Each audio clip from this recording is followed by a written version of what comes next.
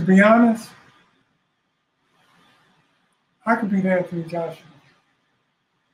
So, repeat that again. See, please, one more time. I could I could beat Anthony Joshua.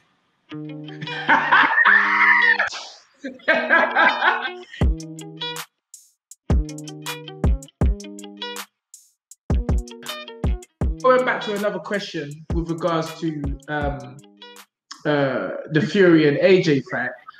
Um, someone says he said, "I said and Spence, don't let Mark leave without telling us exactly how he thinks AJ and Fury goes, uh, and if he really thinks Fury is as special as they say, or Wilder's just a man with no boxing fundamentals." Well, I, I can say um, Mr. Breland has already said he doesn't think um, uh, Deontay can win that fight.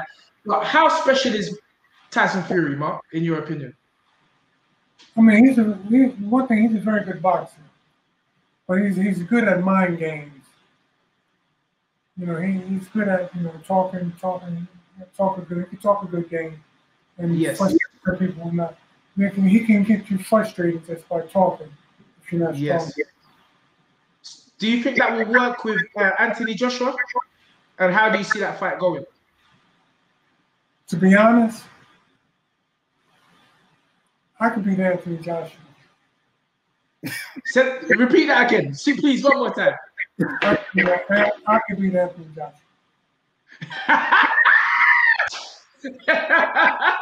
is, is that what? So, Mr. So Listen, you I'm- believe?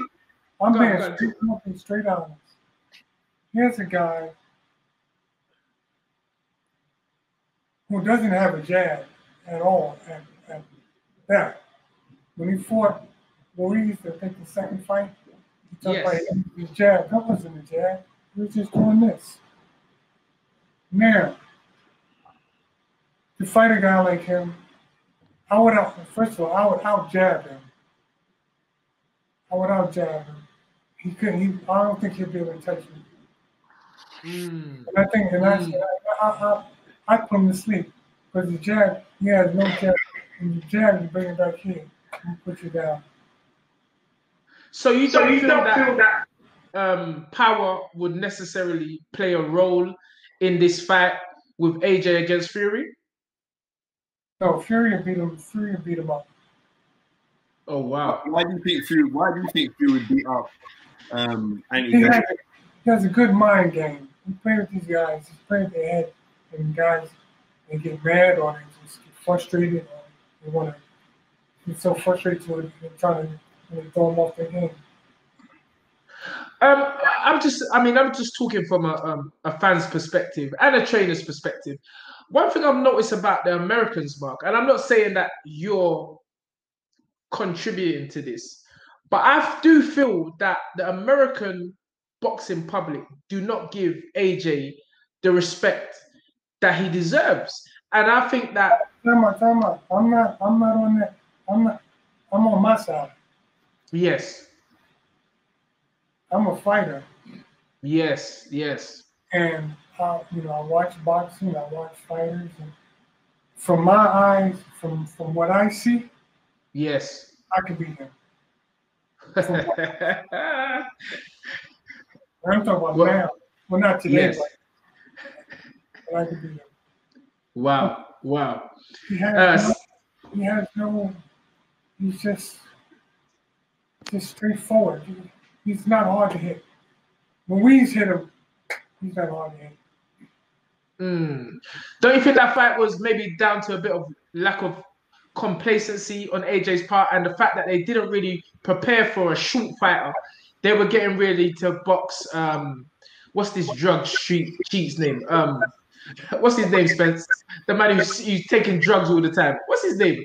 Um, what's his name, Spence? Come on. Jamel Putty Bear. Jamel, yeah, and then the changing opponent at the last time, you know, I remember. What do you think about that? But at the same time, you know, when, when I'm training for a fight, if I'm training, if I'm training for, if I'm training to fight Mike Tyson, okay, I'm gonna get somebody to spar who fights pretty much basically like Mike Tyson. But but that's the point I'm making. Th- There was a change in opponent really, I think it was two weeks or something. So he didn't really have time to change, uh, you know, at that point. It was still a sure opponent though. So if you don't know boxing, don't box. if, you gotta, if I got to fight him, if, I, if I'm gonna fight somebody, and I yes, watch, I watch all the tapes, and then they come out doing something totally different, yes. they have to change your picture.